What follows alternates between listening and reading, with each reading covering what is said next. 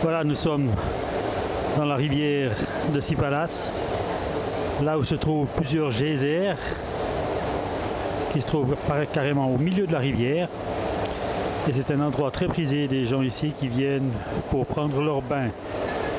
Donc tout au long de la rivière, vous aurez des personnes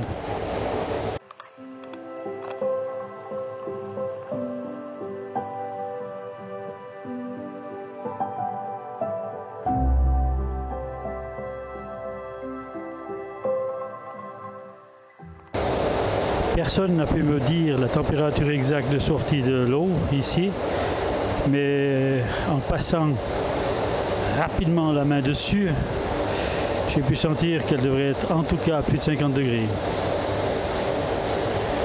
Ce qui est étonnant, c'est que quand euh, vous vous trouvez au pied du, geyser, là dans les, les petits bassins qui ont été créés, couché là-dedans, vous avez une pluie qui vous tombe dessus, soit de gouttes très chaudes, soit de gouttes un peu plus froides. Donc une goutte de l'eau qui est montée le plus haut et le temps de se refroidir.